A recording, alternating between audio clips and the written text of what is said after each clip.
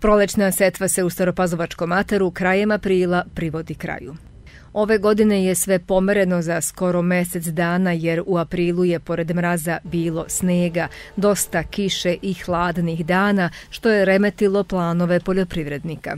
Nismo stizali kao što smo mi navikli da sadim, da sejemo e, od 1. aprila. Znači to malo se smaklo sad kad tom 25.6.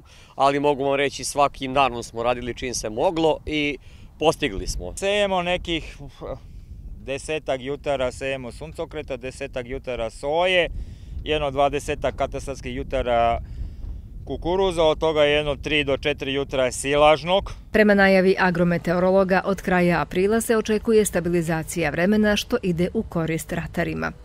Kako kažu agronomi, optimalni setveni rokovi se već godinama pomeraju prilagođavajući se vremenskim uslovima.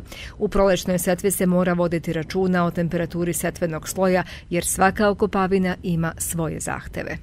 Najtolerantnija šećerna repa i upravo se, je ona e, ta koja se seje prva u proleće. E, druga, drugi parametar je vlažnost setvenog sloja, znači onog trenutka kada može da se uđe mašinama u njivu i kada temperatura zemlješta e, bude adekvatna zavisnosti kulture koje se seje ovaj, kreće se u samu setvu. Temperatura zemljišta jako varira u odnosu na dnevnu insolaciju.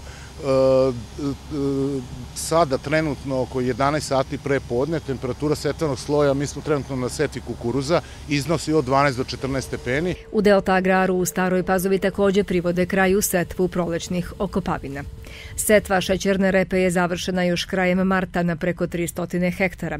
Zatim je usledio suncokret, silažni kukuruz i u toku je završna setva merkantilnog kukuruza, a ovih dana počinju sa kosidbom raži za ishranu krava.